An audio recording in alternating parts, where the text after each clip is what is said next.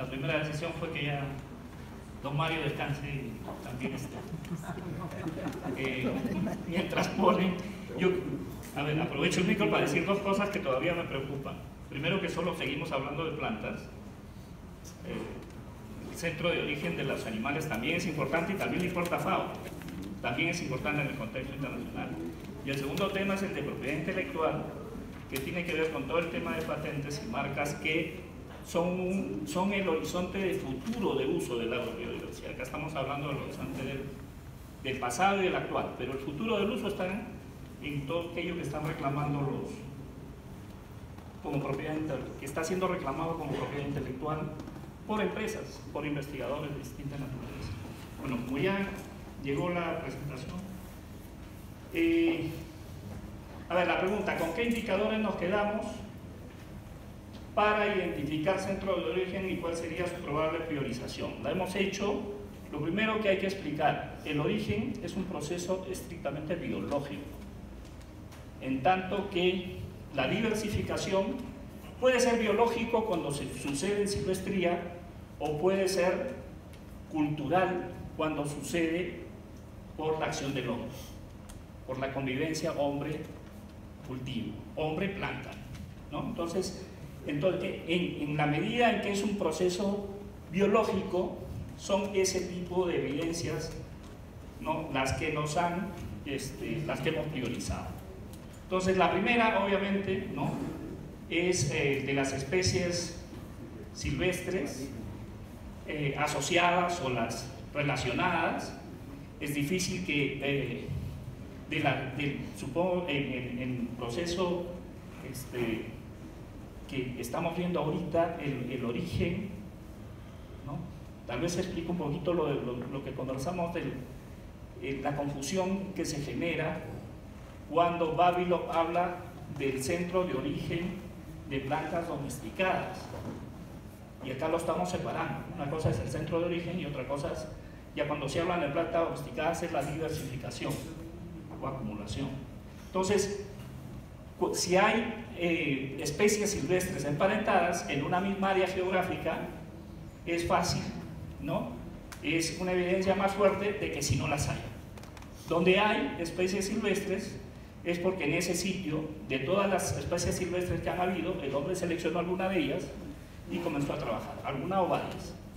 Entonces, evidentemente, eh, probablemente la evidencia más eh, inmediata, la primera a la que hay que recurrir, es la presencia de especies silvestres. Bueno, ahora nace de la ciencia ¿no? el, uso de la filogenética, de la filogeografía, y la evidencia que, está, eh, que se hereda en los genes. ¿no? Esa está la información genética, está siendo transferida, no hay manera de ocultarla ni de diferenciarla, ahí está, y si se puede seguirle el trazo, va a ser una evidencia fuerte, tanto en la parte filogenética, ¿no? las relaciones que hay en base, sobre la base de la información genética, como la distribución geográfica también es una, aunque tiene sus, eh, digamos, eh, debilidades. ¿no?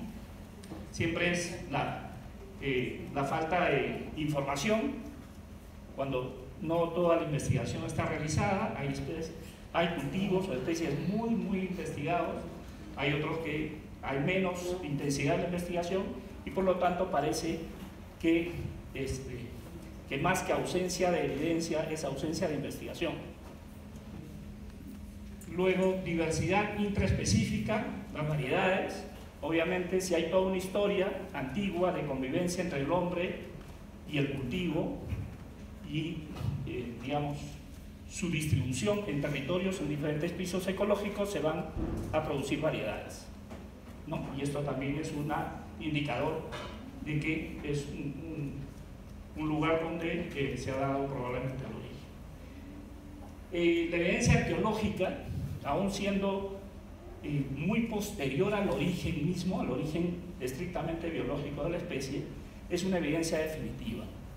O sea, cuando se encuentra un eh, resto arqueológico en una zona y se le puede poner una fecha de antigüedad y esa zona está, o sea, está suficientemente aislada o, bien identificada, entonces es una evidencia definitiva. Si la evidencia arqueológica en Mesoamérica del cacao es de 3.200 años y acá es de 5.200, ¿no? es una evidencia fuerte de que acá hay un centro de origen. Eh, especies emparentadas, también más allá de solamente las especies silvestres emparentadas, las otras especies también son importantes, porque normalmente una especie no es parte de un proceso evolutivo que se forma como una sola entidad genética, normalmente se forman varias. Los géneros tienen varias especies y es interesante saber ¿no? si en un lugar presuntamente centro de origen va a tener un género con más especies que en un lugar que no lo sea. Donde no es centro de origen, difícilmente va a haber un género con muchas especies, de todas las que hay, evidencia lingüística, lo hemos tomado, no se ofendan los lingüistas por favor, lo hemos tomado como una evidencia de refuerzo, precisamente por el hecho de que es posterior, muy posterior, es una evidencia cultural, es posterior al origen, pero además eh, las lenguas también evolucionan, ¿no? Y entonces la huella se va perdiendo, se va modificando, y el registro que podemos tener ahora difícilmente o a veces puede no ser eh, el fiel reflejo de lo que fue en el inicio, ¿no? Entonces, eh, sí es, es importante le sirve a los países decir, por ejemplo, que todos los pueblos nativos de la zona tienen una palabra para un cultivo determinado, eso sirve, es una evidencia eh, que se puede usar eh, de manera legítima, pero es, habla más del proceso de diversificación que del proceso de origen propiamente ¿Con qué criterios han primado los resultados anotados arriba? Bueno, siempre esto evidentemente requiere de estudios multidisciplinarios. Eh, esto no lo hace solamente el genetista, el, botánico, el biólogo, el arqueólogo, no. Esto hay que usar todo, hay que usar todo tipo de evidencia, eso es fundamental. Eh, sin parientes silvestres no hay domesticación. y ya dijimos, los parientes silvestres son un buen indicador de que ahí ha habido, el poblador del lugar ha tenido de dónde seleccionar. ¿no? Entonces ha habido una... Eh,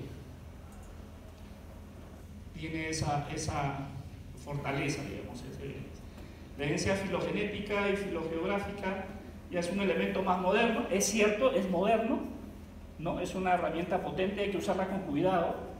La, biología molecular es el boom, pero no siempre, eh, digamos, eh, no siempre se utiliza bien o no siempre te da una verdad definitiva. Un genoma es algo extremadamente complejo ¿no? y depende de qué parte del genoma utilizamos, podemos tener a dos especies que están muy cerca o que están muy lejos, o cuyo origen está en puntos cercanos o distantes hay que afinar bien el análisis ¿no? este, filogenético y, la muestra, obviamente que también es, es un... Eh, bueno, hay que tomarlo muy en serio, ¿no? porque una mala muestra, eso es válido para la ciencia en general. ¿Qué más? Criterios para la diversidad interespecífica, variedad la morfología. En realidad todo lo que se hace ahora con biología molecular, hasta no hace mucho se hacía con caracteres morfológicos. ¿Cuál es la diferencia? Uno dice no, es más exacto, ya no hacemos morfología, no es cierto. De hecho, los agricultores hacen morfología y han logrado variedades con morfología. No saben de ADN. Han logrado lo que han logrado con morfología, mirando las cualidades. El, el problema que tiene, digamos, la dificultad que puede verse con el uso de caracteres morfológicos es que la expresión eh, del fenotipo está afectada por el ambiente.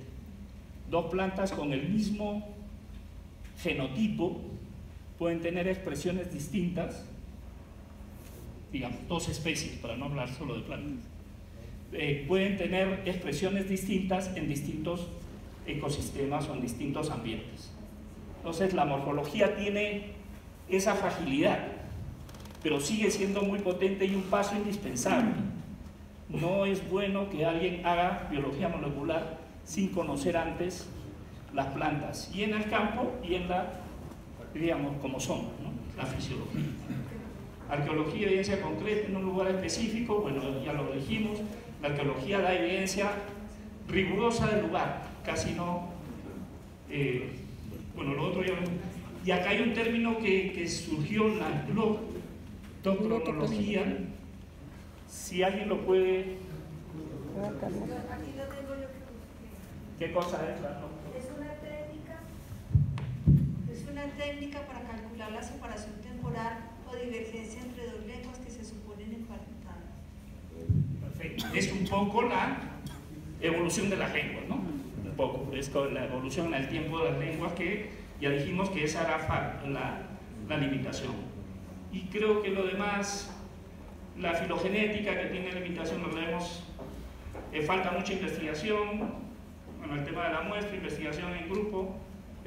Luego hay que, este, hay especies bien estudiadas, con razón, pero hay otras que faltan, ¿no? y que es, precisamente hay que ver cuáles son las que tienen más perspectiva de uso futuro para incidir más en la investigación sobre ello.